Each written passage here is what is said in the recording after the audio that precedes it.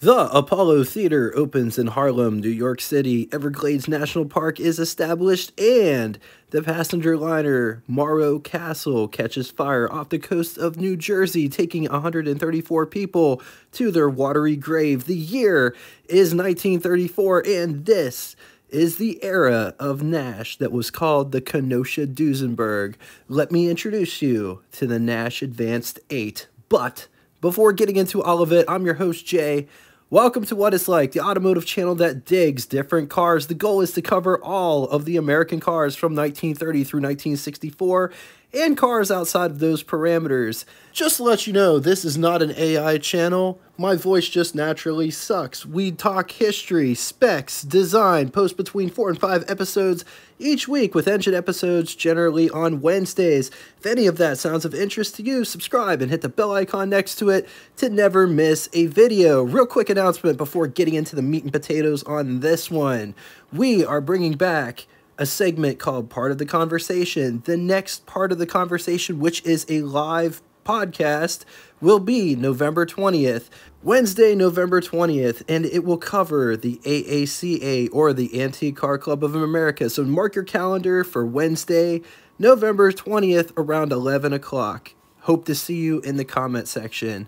All right, 1934 Nash model lineup was broken down into four models the Lafayette, Big 6, which rode a wheelbase of 116 inches, Advanced 8, which rode a wheelbase of 121 inches, and then you had Ambassador at the top, which was offered in two wheelbase configurations, 133 and 142.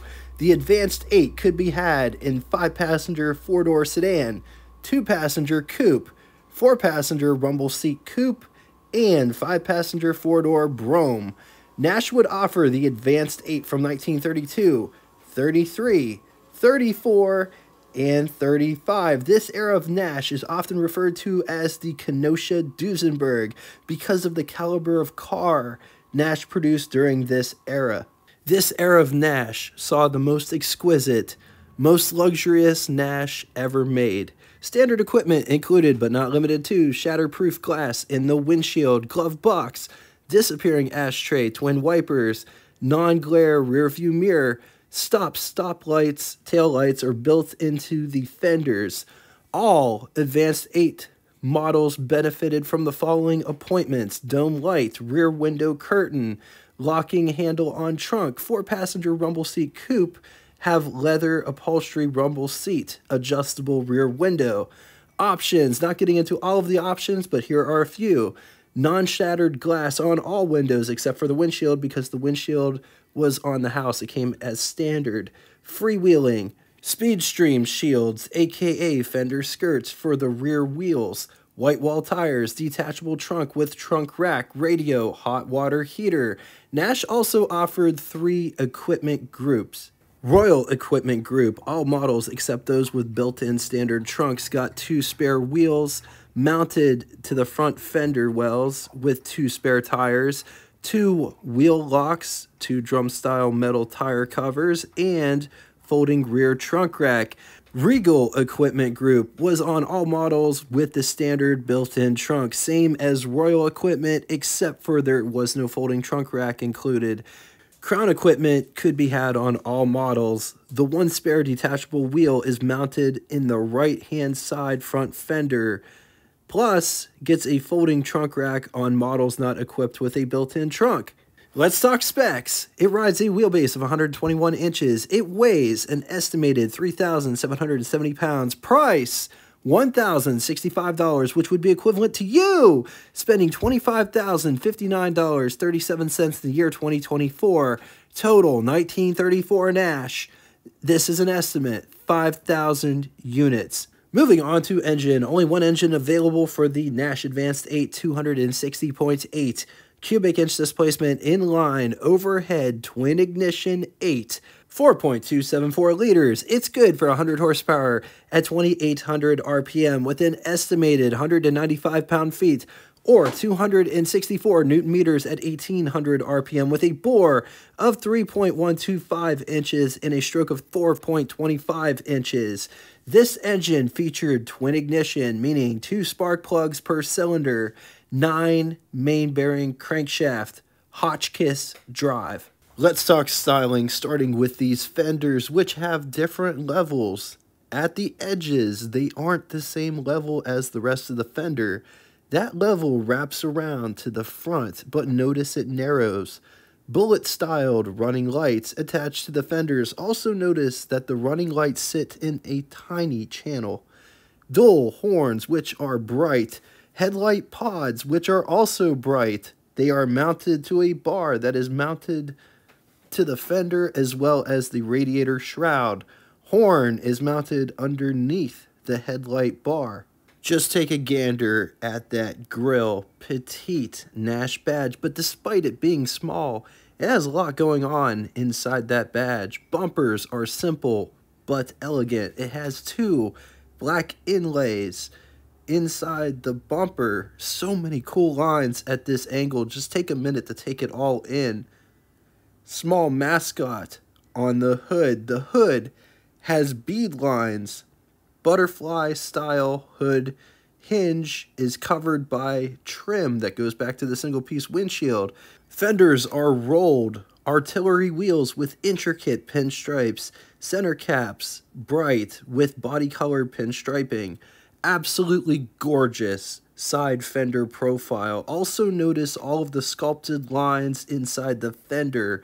Better look at the running lights. This hood does not have any louvers. This car does have a cowl vent, wipers mounted at the bottom of the windshield, side mirror is mounted to the door. This car does not have drip rails, but the body is flanged. Art Deco door handles, large running boards with bead bars. Absolutely gorgeous fender skirts on this car, as well as rear fender profile. Brake lights and or tail lights look very similar to the running lights, which also sits in a channel. License plate is attached to the brake light housing. Gas filler on the driver's side. Bumpers in the back mimic the front bumpers, but they're a totally different bumper. It has way more of an aggressive curve. Spare tire mounted at the rear inside this metal case. So check out this door panel oh, door handle to get out, window crank for the big window. Also notice that the window is notched at the top. Coming down inside, the pedal box down here, you have the emergency brake and or hand brake, parking brake, clutch, brake, gas pedal. Just take a look at this interior.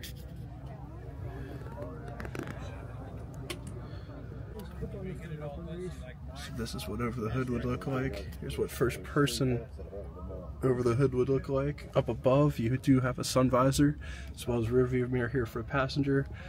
Dome light in center.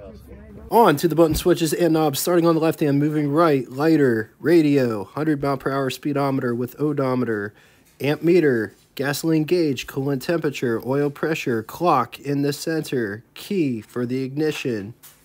Taking a real quick gander under the hood, starter, two coils. The distributor has 18 wires coming out of it. The two wires in the center are for the two coils, and then 16 spark plugs. Very clean looking inline 8. Wing nuts hold the valve cover on. Oil lines going to the oil filter. There is a tunnel in the middle of the engine block where the wires go through and they go on the other side. Essentially, this engine has spark plugs on both sides of the engine essentially igniting the fuel mixture on both sides of the engine. On the positive side, this is a very underrated car for what these are. This era saw some of the largest Nash cars ever made. Affordable, based on body styles, of course.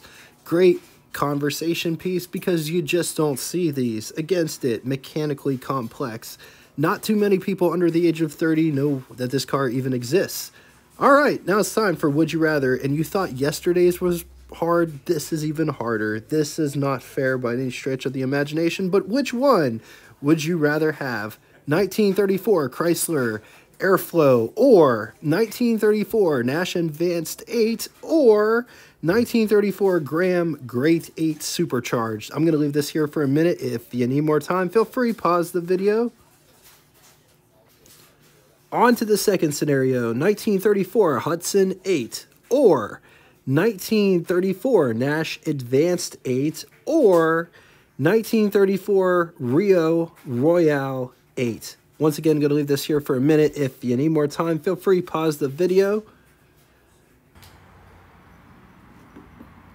All right, now it's time for Name That Tune. First person to give both the name of the band, song title, and the lyric that comes next will have their comment pinned to the top of the comment section.